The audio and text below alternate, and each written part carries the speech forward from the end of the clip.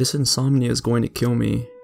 I've been waking up every goddamn night, usually around 2.30 am. It has something to do with my 3-year-old daughter, Sophia, and her imaginary friend Andy. Sophie's been struggling with potty training, so I keep a monitor in her room so I can get to her before she pisses the bed. Every night for about two weeks, I can hear her babbling softly through the monitor. It's a generic piece of shit, so the quality isn't great. I can never understand what she's saying, but when I get to her room, she's sound asleep. I woke her up a few nights ago and she just started crying, insisting that Andy had been talking into the walkie-talkie. That's what she calls the baby monitor. And she just wanted to go back to sleep. It creeped me the fuck out, and I couldn't fall back to sleep at all that night. Baby monitor was quiet for the remainder, at least. I caught up on some Netflix until the sun came up. My wife told me she'd kill me if I didn't at least try to take care of this sleeping issue. I can't help but roll around in bed and it keeps her up. She never hears the monitor. I tried waking her up once, but as soon as she opened her eyes, the monitor was dead silent. She never was the joking type, and I keep a handgun in the bedside table, so I decided to take her advice and try to get this fixed. The lack of sleep was fraying at our nerves, and we'd been arguing, something we'd never done in the past. Thing is, I loathe doctors. It's a totally irrational feeling, I know, but I can't stand them. I think deep down I'm a bit of a hypochondriac, and I'm afraid of what they might find if they poke and prod enough. I also don't like prescription drugs, but I'm getting desperate. I set up the appointment with Dr. Hazerman. I was hoping he'd be booked so I could forever procrastinate, but they had me in the same day. It was a quick appointment. After the obligatory 20 minute wait, he had halfway listened to the ailment and scribbled an Ambien prescription tearing it off and stuffing it into my hand. I was happy enough. No poking, no prodding, no terminal diagnosis.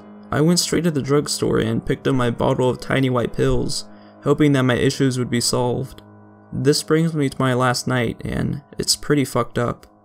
I feel like a lunatic even typing this out because I know it's all wrong, but I need to see what people think.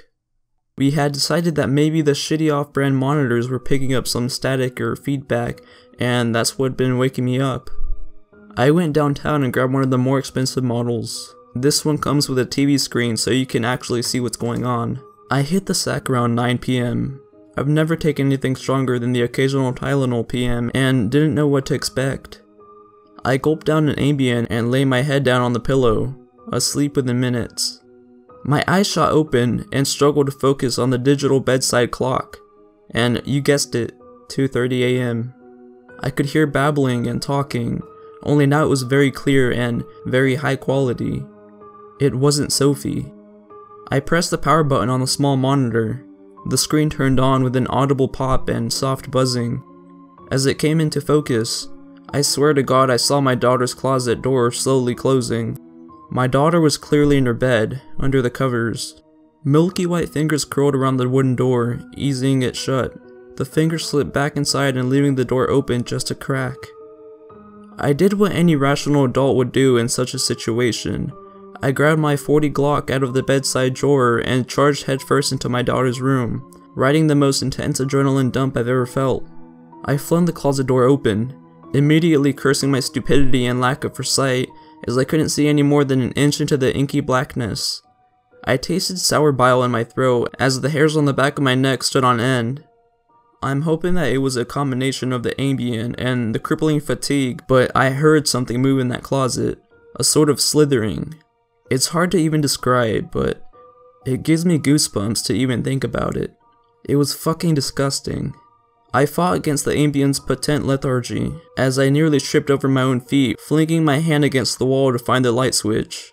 Sophie yelped as I shouted a curse, finally finding the switch. The room exploded in white brilliance. Don't hurt him. Don't hurt Andy.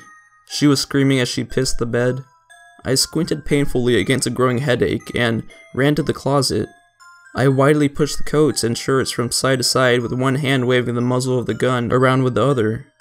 Wild shadows danced across the closet, but it was empty. Terrifyingly empty.